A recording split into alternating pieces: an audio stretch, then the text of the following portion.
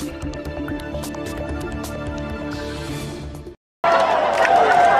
kita dapati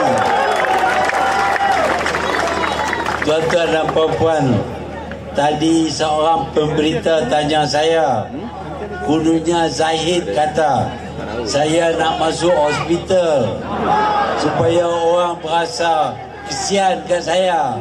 Tak payah masuk hospital Tak masuk hospital pun Orang bagi sokongan.